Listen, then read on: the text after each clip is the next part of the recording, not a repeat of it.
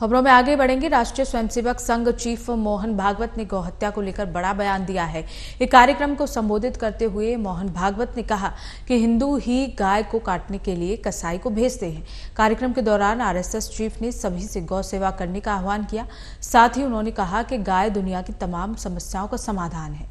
भागवत ने गायों की दशा पर दुख व्यक्त करते हुए कहा कि बांग्लादेश में सबसे ज़्यादा गाय काटी जाती है। लेकिन सवाल यह है कि उन्हें वहाँ भेजता कौन है? ये गाय हिंदू ही हिंदुओं के घरों से ही वहाँ पहुँचती हैं और उन्हें ले जाने वाले भी हिंदू ही हैं। भागवत यही नहीं रुके, उन्होंने एक और सवाल उठाया। मोहन भागवत ने कहा कि हम गाय को माता कहते हैं, लेकिन गाय को कटने के लिए भेजना क्या एक पुत्र का कर्तव्य है?